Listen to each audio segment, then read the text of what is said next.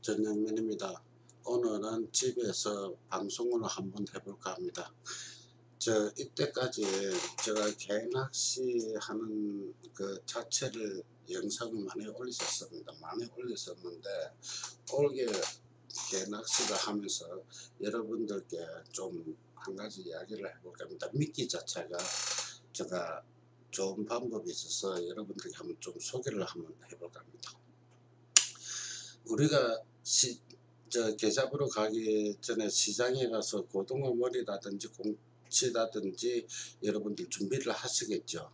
그렇죠. 고등어 뭐 대가리라든지 뭐 이런 식으로 많이 준비를 하십니다. 그런데 제가 올게 많이 영상에서 저나 개낚시를 하던 그 동영상이라든지 사진이라든지 여러분들 봤을 겁니다. 사진 동영상을 봤을 겁니다.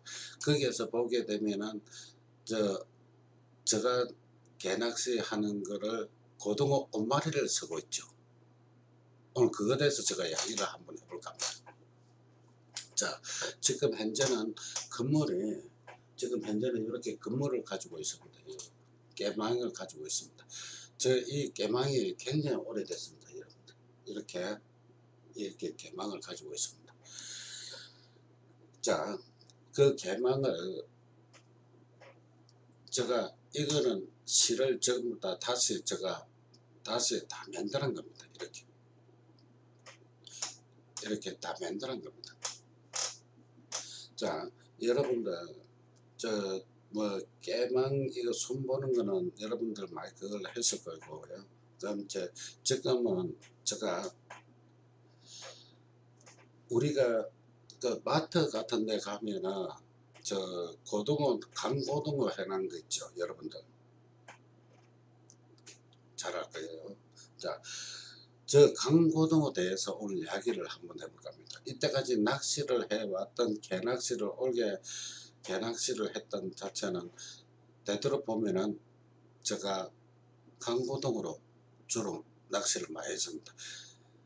이 강고동으로 주로 낚시를 한 거는 해본 결과에서 한 번, 두 번 제가 해본 건 아니고 여러분들 영상도 안 올라간 것입니다. 안 올라간 것도 있는데 이게 자체 내에서 강고동에서 한 견에 너무 좋더라고요. 그래서 여러분들도 여러분들 나름대로 시장에 가서 저 고등어 대가리를 가지고 오겠죠. 좀 얻어서 뭐 온다든지 뭐 공치 미끼를 한다든지 뭐 그런 식으로 하겠죠. 그것도 뭐 잘못되어 있는 생각은 아닙니다. 자, 그리고 보면은 제가 만 이게 자체 제가 서는 자체는 여러분들 앞에 방송에도 그랬습니다. 제가 내가 서는 자체는 빨간 망을 안 씁니다. 여러분들 저 빨간 막을 안 쓰고 이 얘기에다가 요게 실을 실에다가 실에다가 요 고등어를 한번 보여드리겠습니다. 어떤 고등어인가 자 오늘은 집에서 이렇게 보여드립니다. 여러분들 자 이렇게 강고등어 맞지? 자 요거를 사가지고 낚싯대까지 얼은 채로 그대로 가지고 가시고요. 거기에서 약 한 10분간 정도 해동을 시킵니다. 날씨 되게 뜨거운데 나는 자동으로 녹겠죠. 거기서 해동을 시킵니다.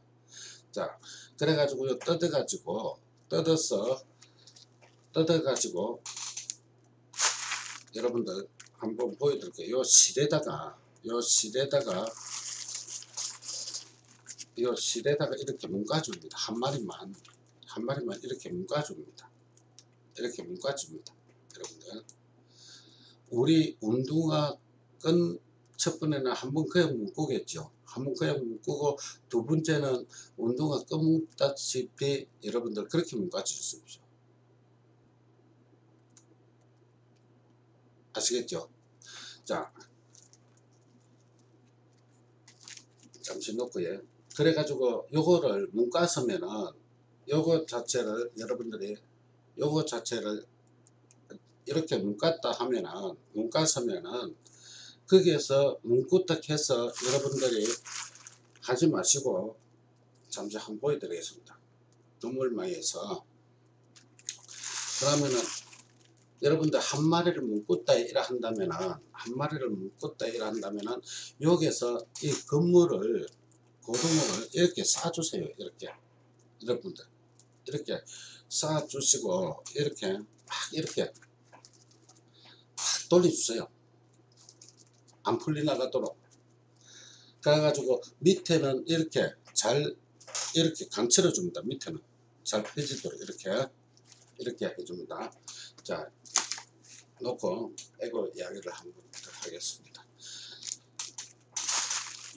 그래서 한 며칠 동안에 제가 계산다고 테스트를 많이 해봐보고 또 어떻게 하면은 많이 잡을 것인가 그거를 비교를 하기 위해서 제가 다른 저 머리 고등어 머리만 써도 되는데 고등어 머리만 써도 되는데 엄마리를 써본 결과에는 엄마리를 선 강고등어 엄마리를 써본 결과에서는 너무 좋더라고요.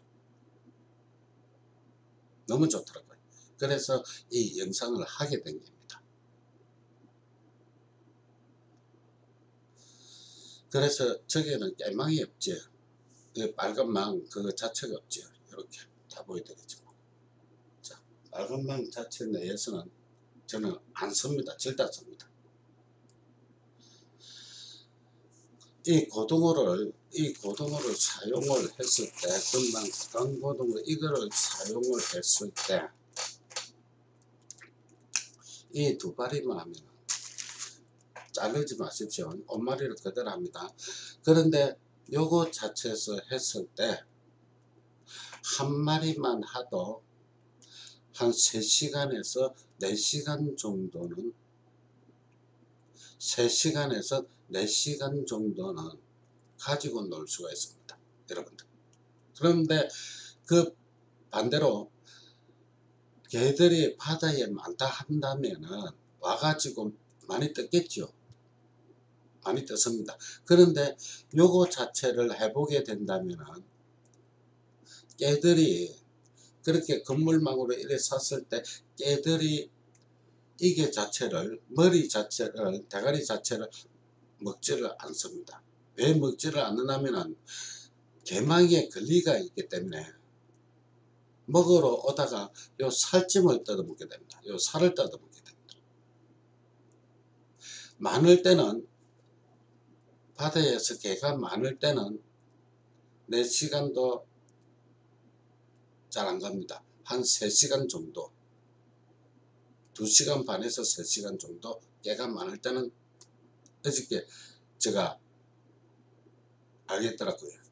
그래서 아 좋은 정보 내로서는 좋은 정보 같아서 여러분들께 이렇게 한번 이야기를 해봐 보는 겁니다.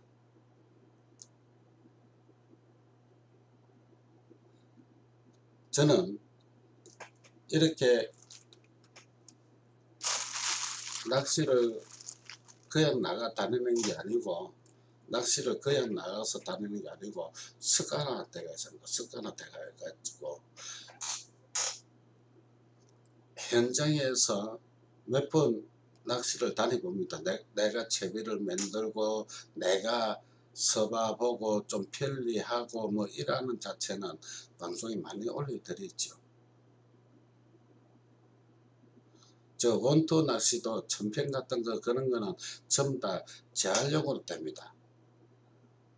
제가 매 가지고 하는 자체는 다 재활용으로 다 되고 있습니다. 그래서 이게 깨망 자체가 여러분들이 이 깨망 자체가 저는 이렇게 빨간 망을 안 쓰지만은 앞에 빨간 망에 그런 거실 제가 해가지고 한 거 그거는 여러분들이 편리하게 쓰기 위해서 여러분들이 편리하기 위해서 만들었다 했다면은 요거는 요것만은 제가 하고 있는 개낚시입니다. 제가 하고 있는 개낚시입니다. 그래서 저는 빨간 망을 절대 안 썼죠. 몇 번 이야기를 하지만 빨간 망이 없습니다 여러분들 요 실에다가 요 실도 지금 다 만들었습니다 이렇게 이렇게 다 해놓은 겁니다 그래서 저는 이 고등어 고등어 강고등어가 너무 좋더라고요 그래서 아, 내만 알 것이 아니고 아, 뭐, 이 유튜브에 한번 올리자 싶어서 그래서 제가 한번 해본 겁니다. 이 영상을. 여러분들 지금 현재 지금 현재 송정 빨간 등대 자체 내에서는 지금 많이 걸리면은 한 번에 한 번 캐스팅에 많이 걸리게 된다면은 한 10마리 이상을 들어갑니다. 한 10마리 이상성이 들어가고요. 좀 작게 걸리도 한 5마리, 6마리, 뭐 또 3마리에서 이런 식으로 나올 때도 있습니다. 여러분 그래서 어저께도 낚시를 하다가 다른 낚시인이 저 제가 캐스팅은 잘 못했죠. 제가 캐스팅은 잘 못해가지고 옆에 사람 지장을 좀 한 번 딱 주고 그래 했는데 그런데 그런 사람들이 그렇게 캐스팅을 하는 자체는 내가 가만히 보고 있을 때 아니더라고요. 어깨에서 날라오는 그 자체는 오른쪽으로 가든지 왼쪽으로 가든지 그렇게 되고 있습니다. 원투 자체가 어깨에서 내일다 치는 것. 방패전 빨간 등대 올라가서 그래서 캐스팅을 하고 나는 밑에서 하고 있는데 그래서 조금 조금 그걸 좀, 좀 신경이 나더라고요. 그래서 제가 오늘 이 영상을 하게 된 겁니다. 자 여기서 마무리 짓도록 하겠습니다. 여러분들 끝까지 시청해 주셔서 감사합니다.